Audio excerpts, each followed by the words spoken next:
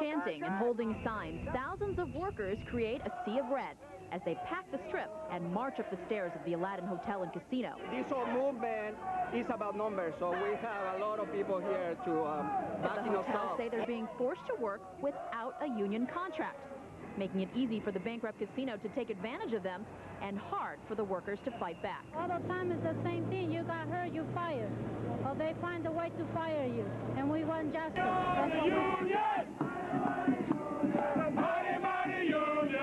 Make sure all blue-collar workers get the benefits they deserve. These workers should work free of abuse, free of threat, free of intimidation. They don't want welfare. They want fair share.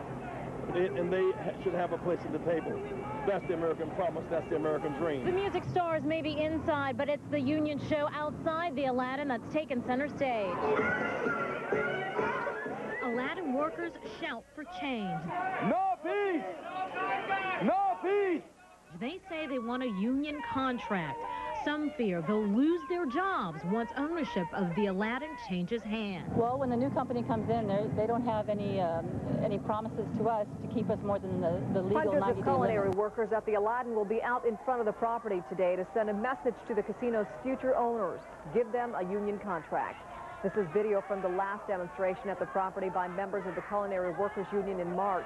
The employees want the Aladdin to recognize their union and give them a new contract. They say the present ownership has not done that. Planet Hollywood executives plan to take over the Aladdin this fall after they have approval from the Nevada Gaming Commission. The Culinary Union has accused Aladdin's current management of illegal firings and trying to keep employees from joining the union. Aladdin workers say they will join the Culinary Union next year. That's our top story this evening. Thanks for watching.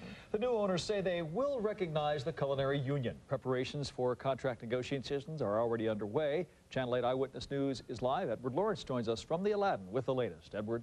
It seems that 18 months of pressure from the Culinary Union worked. The management here at the Aladdin is going to recognize the union. A card count was verified on Friday by an independent third party. That shows how many workers here have already signed up for the union, and it means that the Aladdin will have a union.